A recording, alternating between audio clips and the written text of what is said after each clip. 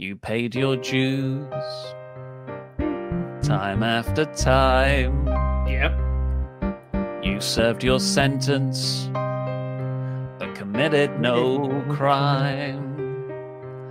And bad mistakes, you've made a few. You've had your share of sand in your face, but you come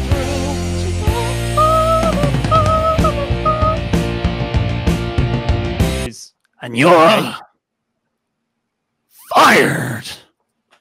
So Luke's fired, What? everyone.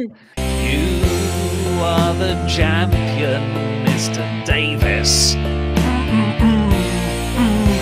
You'll keep on fighting to keep it. You are the champion. You are the champion.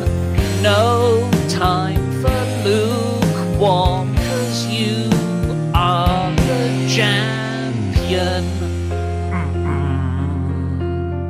Of WrestleTalk.